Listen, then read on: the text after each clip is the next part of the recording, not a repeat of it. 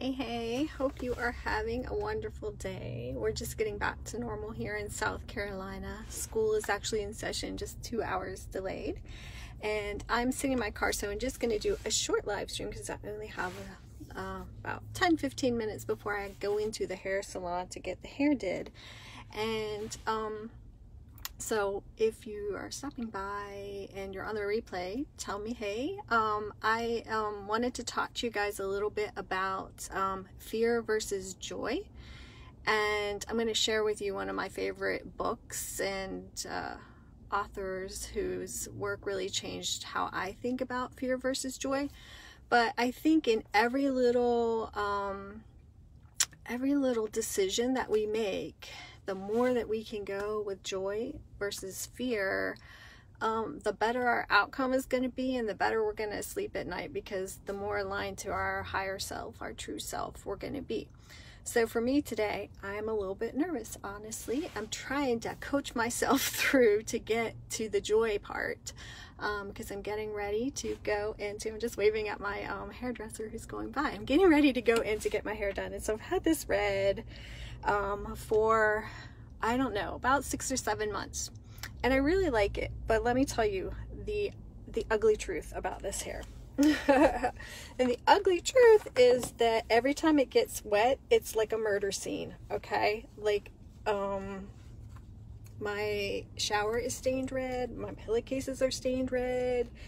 It stains everything red. So it's really pretty. It looks cool on my website pictures, but um, it is I didn't realize that until recently when I was thinking about changing my hair color that she my hairdress my um, hairdresser is using um, not permanent dye so that it's not so damaging on my hair but it also stains everything like I can't get in a pool or a hot tub well people I'm going to Tahiti. Yes, I'm so excited. I'm going to Tahiti next month. So I called up my hairdresser and was like, look, we got to we got to ixnay on this because I'm having major fear issues about I want to go to Tahiti. I want to be in the ocean. I'm going to be in the hot tub. I'm going to be in the pools, right? I'm going to be at these really fancy resorts. I do not want to stain everything red that they have. Especially I you're not going to even believe this. I ended up started traveling with like a black or a dark blue towel that I would put over the pillow when I sleep in a hotel because I didn't want to stain their pillowcase and to use it to wash and dry my hair in a hotel because I don't know, I just feel really embarrassing embarrassed to like stain their stuff. So I was like this is like no longer a joy filled hair thing for me. Like I like the color but I, I don't want to stain everything. Like it's not such a big deal if it's in my house but if it's um out in the world and you know I'm going on this trip that I've been dreaming of for a really long time to go to Tahiti and I do not want to leave trails of red dye everywhere I go in Tahiti. So um I told her I was like something got to happen. We got we got to make a change. And so um I first thought I would go with kind of a, a silver hair, a real light hair and she was like um not unless you want your hair to fall out, girl. So, and she also told me that process would take six months. I'm going to Tahiti in January, like, in 28 days, I am going to Tahiti. So, I needed something done. And we just played with different things and the ultimate result that we have that we're going to do is um, she's going to go in and remove all the red dye bleach my hair and put on permanent red dye. So my hair I don't know exactly what color it's going to be but it'll probably be something similar but it won't bleed everywhere because it's permanent dye. At least I'm going to clarify this with her because it's that's like my my thing. Like when I'm traveling I just don't want to be like staining everything that I come into contact with. That feels, that feels. Um, having all my hair fall out feels kind of it too. But so that's why I'm, I'm in that like, hmm, does the red hair spark joy? It does. Does the, um, staining everything spark joy? No. So I guess if we can come up with a solution that my hair doesn't fall out and it's red and it doesn't stain everything, will be bueno. If not, I don't know what color I'm going to come out with. Um, it could be weird. I may end up having to cut it all off. But that can be okay because that'd be fun and my hair grows really quick and it could be something new and different. But um, when I just asked that question, does it spark joy? That is from Marie Kondo. And if you're not familiar with her work, one of my favorite, favorite books is The Magic Art of Tidying Up. Um, I am a reformed uh, clutterholic, and sometimes I can get back into that habit. Especially the main thing for me is books, but um, her book, The Magic Art of Tidying Up, talks about going through all of your possessions and deciding whether or not to keep them based on whether or not they spark joy. They, you know, like what if you have this functional, I think she talks about someone who has like a really nice stereo, but it had a crack where it was like a boyfriend threw something at it. So every time she looked at it, even though it was nice and stuff, she would remember that anger. And so it felt bad for her to keep that. So it didn't spark joy. So she gave it to someone else who had no no feelings about the crack in the stereo because they didn't know it was made by an angry boyfriend throwing something across the room.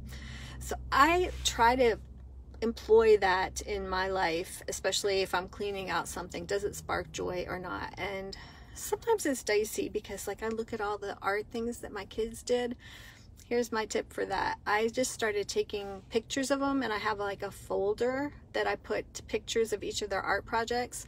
So unless it's super special, I don't save all of them because I've got four kids and I would have so many, so, so many art projects to keep. But that way I can have the, that folder and that sparks joy because I can look through it but I don't have to find a box in the attic to put it and honestly like if I were going to like want to look at some of the stuff my kids did, it, I think it's easier to find in a digital file than to dig it out of the attic because when you got four kids, you got a lot of art. Hey, Kimberly.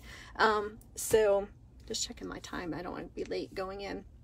Um, so that's kind of how I um, look at decluttering but i try to look at that like in everything in my life and sometimes we have to look beyond just that very moment of like, will eating, like the food I eat, will it spark joy? Or like, if I take a nap, will it spark joy? And here's the thing, the actual action is, is like, it doesn't, there's no right answer every time. Like sometimes eating the cookie is going to spark joy and sometimes it's going to give you a stomach ache.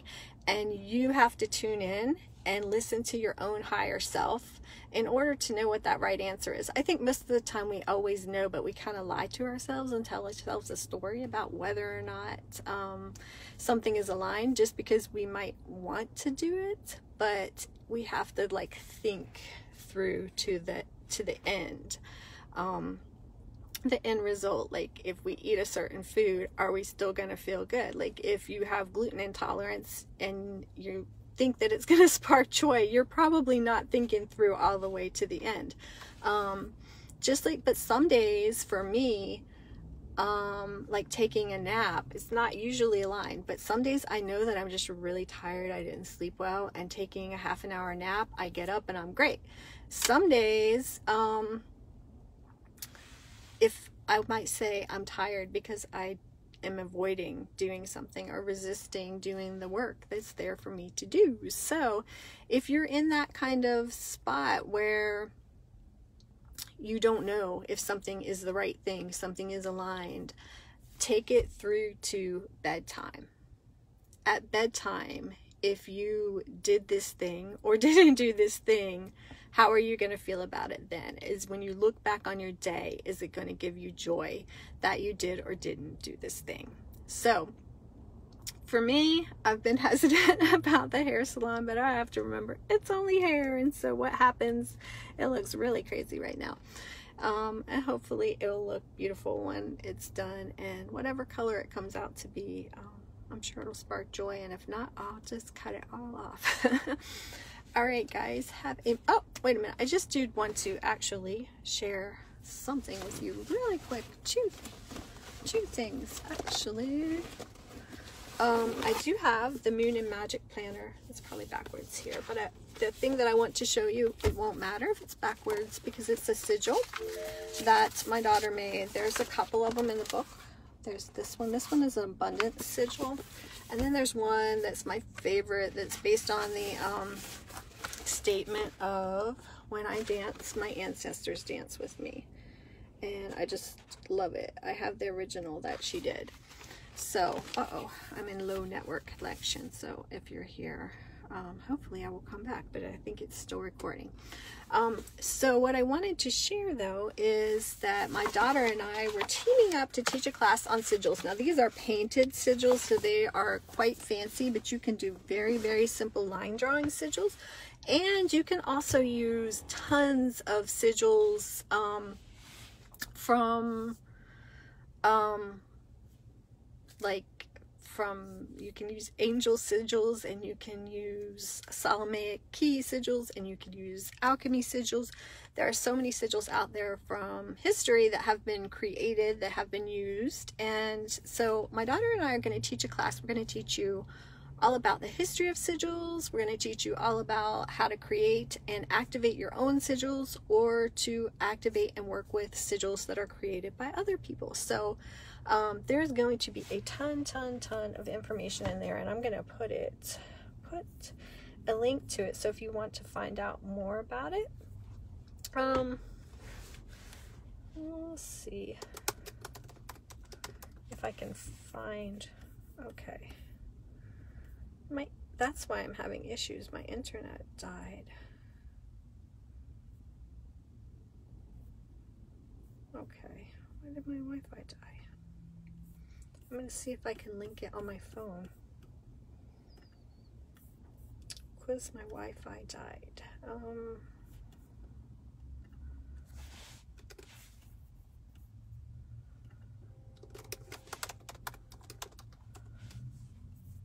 okay, let's see. Sorry about this, guys. Okay. But we there will be a master class with the sigils that will be live and there will be some audios for you to work with to use to um, activate your sigils. And let's see. Aha. Here I am so I'm going to put that in the comments for you and I'm also going to put a link if I can find it really quickly for the planner, if you're interested in the planner, um, this is the planner that I dreamed about forever and could never find. So I finally just decided to make one. Um, and after three years of dreaming, I got it done. And so this planner has all, it goes by the moons. It has all of the um, has the 13 moons of 2019 and not the um, months. So you'll see that there are moons there. Even though it's backwards, you can kind of see the moons around the day. And each you'll turn to a new moon um, on the new moon. And so, why can I not find that? Um, link. Well, I'm going to add that in in just a moment. I'm going to get ready to head in and um, find out what kind of hair color is going to spark joy for me today. Um, go throughout your day and check in on the things that you're doing and whether or not they you're taking those actions from fear or from joy. And when you can, choose joy. All right, have a magical day and I'll talk to you soon.